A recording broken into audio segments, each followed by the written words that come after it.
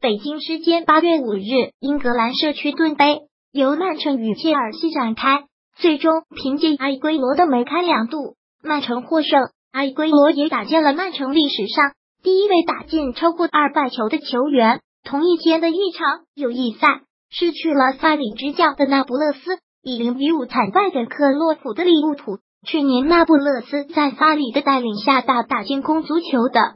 最后也仅以微弱的积分差距输给了尤文图斯。那不勒斯的传控足球在意甲也是一股清流，独树一帜。萨里带领的那不勒斯上一赛季就与瓜迪奥拉带领曼城在欧冠的小组赛有过两次交手。当时的曼城在英格兰超级联赛就是无敌的存在，一直保持连胜。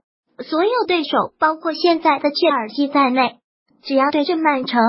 采取的战术基本上都是龟缩防守，寻求难以找到的机会做出反击，要不就根本没有机会。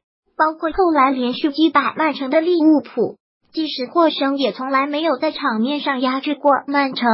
只有当时的那不勒斯在主场对阵曼城的时候，曾经在好长一段时间让曼城几乎碰不到球，这样让以传控足球为毕生执教理念的瓜迪奥拉大为吃惊。赛后，瓜迪奥拉更表示，这是一场我带领过最精彩的的进攻足球比赛之一。本场社区队杯，切尔西的打法确实一改空地的防守反击的战术。从上半场开始，切尔西与曼城就展开了对攻。若日尼奥确实作为切尔西改造最重要的一环，作为切尔西的前后场的一个重要的中场衔接，但也许是因为与球队的磨合度不够。而且因为阵型过于压上，若日尼奥也出现了一两次失误，然后让曼城展开犀利的反击。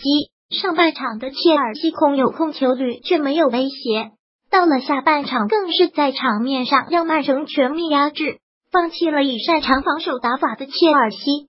卡巴列罗门前变得险象环生，阿圭罗还错失了一个单刀球，差一点就上演了帽子戏。有办法。下半场，双方通过大量的换人，场面上的传接配合差距更加明显。瓜迪奥拉无论换上什么球员，在他的体系下，两个英超赛季的打磨下，其战术配合的流畅性、多样性、默契度，都是萨里带领并才经过几场国际冠军杯演练的切尔西不可以同日而论的。但是，以萨里能把球星相对暗淡的那不勒斯。带领到差点把尤文图斯一家的皇冠挑下的能力来看，假以时日，也许我们能在英超的赛场上看到最强的传控足球对决。